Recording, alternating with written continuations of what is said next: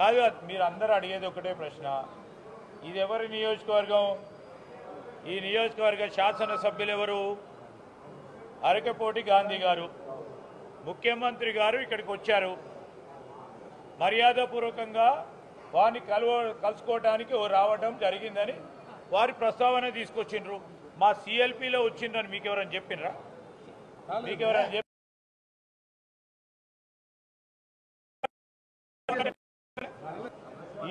మేము చెప్తా ఉన్నాం. వారి నియోజకవర్గం శాసనసభ్యులు వారికి మర్యాద ఉంది. ముఖ్యమంత్రి గారు వచ్చినప్పుడు గ్రీట్ చేయడానికి వారు రావటం జరిగింది. ఇది స్పష్టత. ఇంకా దాంట్లో అభిప్రాయ భేదమైంది ఇంకా దాంట్లో చెప్పేది ఏంది?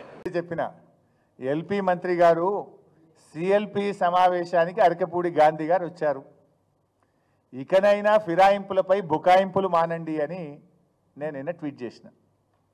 దాని మీద శ్రీధర్ బాబు గారు ఎంతో తన యొక్క చాకచక్యాన్ని తనకుండే తెలివితేటలన్నీ ఉపయోగించి ఆయన గారు అంటారు ఈ మీటింగ్ ఏదో ఆయన గాంధీ గారి నియోజకవర్గంలో జరిగిందట మర్యాదపూర్వకంగా ముఖ్యమంత్రి కలవడానికి వచ్చిండు అన్నాడు. నేను చెప్పిన దానికి మళ్ళీ నేను కూడా నిన్న చెప్పిన మర్యాదపూర్వకంగా కలవడానికి ఎప్పుడు వస్తారు అఫీషియల్ మీటింగ్కి వస్తే వస్తారు తప్ప పార్టీ మీటింగ్కు రారు అనే విషయాన్ని శ్రీధర్ బాబు గారు గ్రహించాలి number one.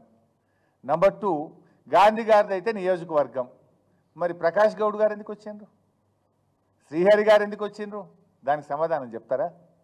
అబద్ధం ఆడితే అతికట్టని ఉండాలి. జనము చీచీ అంటున్నారు.